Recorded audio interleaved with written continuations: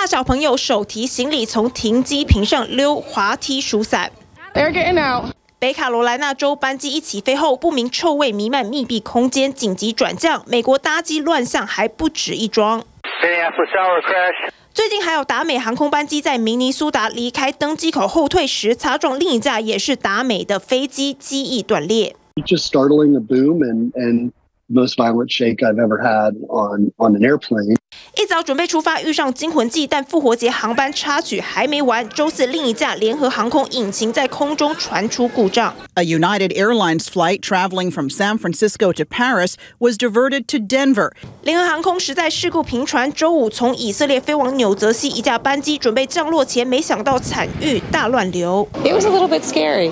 It was scary. We went to land into Newark. That was like really like Six Flag.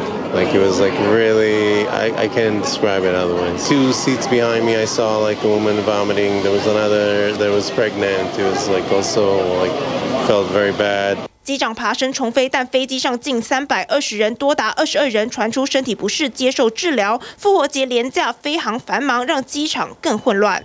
On Thursday, the TSA says it screened 2.7 million passengers, the most so far this year and the largest number since the winter holiday season last year. 航班出包部分也和西岸天气异常有关，但美国估计下周四恐怕飞航最忙，因为四月八号还有日全食，吸引大批民众涌入观光景点。TVB 新闻做不到。想看最完整的新闻内容，记得下载 TVBS 新闻网 APP。